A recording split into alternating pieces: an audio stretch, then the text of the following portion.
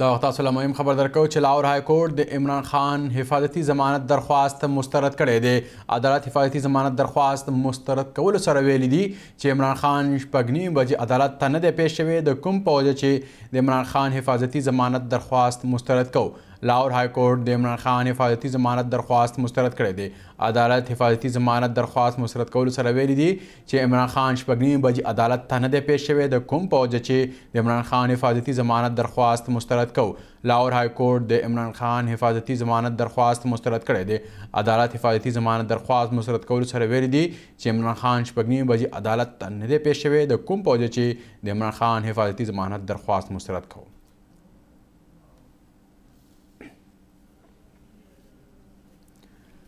لاهور های کورټ د عمران خان حفاظتي ضمانت درخواست مسترد کړی دی عدالت حفاظتي ضمانت درخواست مسترد کولو سره ویل دي چې عمران خان شپږنی بجې عدالت ته نه دی پیش شوی د کوم پوځ چې د عمران خان حفاظتي ضمانت درخواست مسترد کو لاهور های کورټ د عمران خان حفاظتي ضمانت درخواست مسترد کړی دی. عدالت حفاظتي ضمانت درخواست مسترد کولو سره ویلي دي چې عمران خان شپږ نیمې بجې عدالت ته نه دی پېښ شوی، د کوم پوځ چې د عمران خان حفاظتي ضمانت درخواست مسترد کوو.